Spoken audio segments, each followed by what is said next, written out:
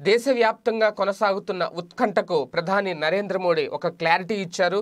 Lockdown మరొకసారి ఉంటుందా లేదా అనే దాని మీద స్పష్టత వచ్చింది కేంద్ర ప్రభుత్వం నుంచి అనేది తాజాగా తెలంగాణ ముఖ్యమంత్రి కేసీఆర్ గారు చెప్పిన మాట. ఎందుకంటే ఇప్పటికే జెట్ స్పీడ్లా పెరిగిపోతున్నాయి. కేసుల సంఖ్య రోజు రోజుకి కరోనా పాజిటివ్ కేసుల సంఖ్య వందల దాటుతోంది రాష్ట్రాల్లో. దేశవ్యాప్తంగా లక్షల్లో కొనసాగుతుంది. రోజుకి పదివేలకు పైగా కేసులు నమోదు నమోదవుతున్నాయి దేశవ్యాప్తంగా. అంటే పరిస్థితి ఎంత తీవ్రంగా ఉంది అనేది ప్రత్యేకంగా చెప్పాల్సిన అవసరం లేదు. ఇటువంటి నేపథ్యంలో గత కొద్ది రోజులుగా జరుగుతున్న ప్రచారం మరొకసారి పూర్తి లాక్డౌన్ ఏర్పాటు చేసేందుకు కేంద్రం యోచిస్తోంది.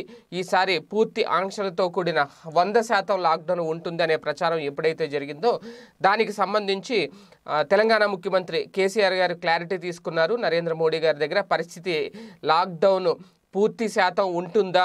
అసలు పరిస్థితి ఎలా ఉంటుంది? ఈ ప్రచారం జరుగుతుంది అన్న నేపథ్యంలో ప్రస్తుతం unlock unlock down unlock down దిశగా అన్లాక్ దిశగా నిర్ణయాలు తీసుకుంటున్నాము తప్ప లాక్డౌన్ దిశగా ఎటువంటి నిర్ణయం తీసుకోవట్లేదు.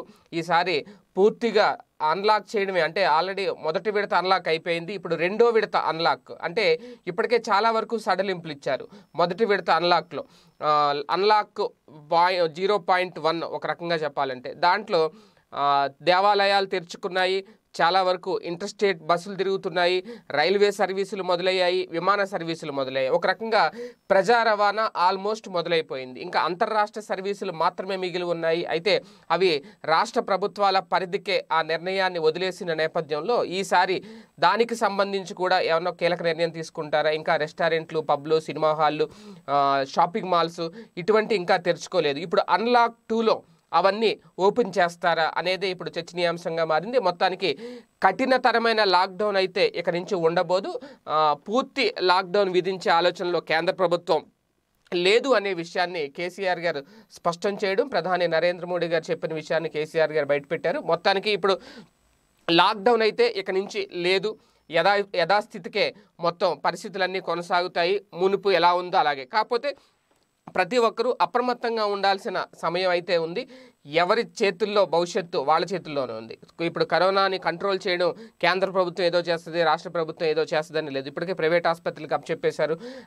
చికిత్సకు సంబంధించి టెస్టులకు సంబంధించి ప్రైవేట్ ల్యాబ్లకి ప్రైవేట్ ల్యాబుల్లో కూడా టెస్టులు నిర్వహిస్తున్నారు. దానికి సంబంధించి ఎంత అవుతుంది ఏంటి అనేది లిస్ట్ కూడా పెట్టారు బోర్డు కూడా పెట్టారు. ఆరోగ్య శాఖ మంత్రి ఆ డీటెయిల్స్ని కూడా వివరించడం జరిగింది. మొత్తానికి ఓవరాల్గా మరోసారి లాక్డౌన్ అయితే కొనసాగించే యోచనలో కేంద్ర ప్రభుత్వం లేదు. కాకపోతే పరిస్థితులు ఎలా ఉంటాయి? కరోనా పెరుగుతున్న నేపథ్యంలో ఎవరు ఎంతవరకు అప్రమత్తంగా వ్యవహరిస్తారు?